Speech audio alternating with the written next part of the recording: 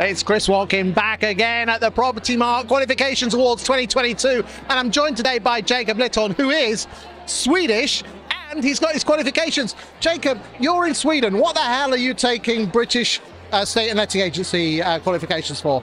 Because knowledge is everything. Okay. Learning everything because I will become an estate agent here in London. So I better get my qualifications. Good stuff, good stuff. So, what, what makes you want to be an estate and letting agent in London? I love customer service. I love helping people, and I would love to help people find their dream home.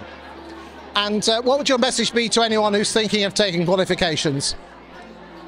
To actually do it, because it's not just an investment in yourself, it will also be an investment in your future clients as well.